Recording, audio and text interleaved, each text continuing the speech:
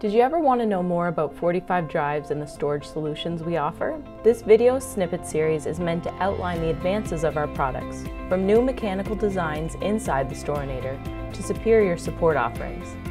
Today we're taking a look at the Atto Thunderbolt adapter, which provides Storinator Mac users a Thunderbolt 2 to 10 gigabit connection. The Storinator storage server is a high-performance shared storage solution that supports virtually any application in any environment.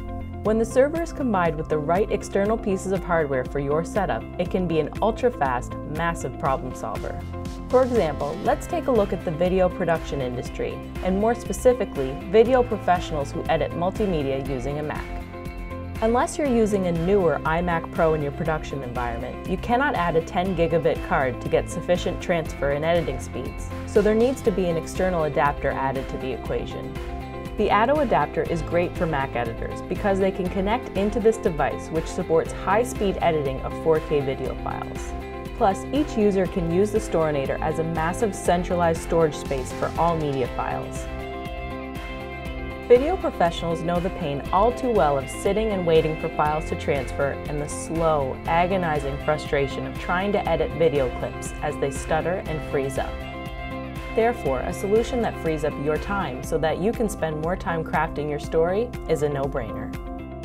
This Atto adapter provides Storinator Mac users maximum throughput for high bandwidth connectivity. The setup is a pretty painless plug-and-play process. The Storinator is connected to the network switch, which is then connected to the Thunderbolt adapter, which is connected to the Mac.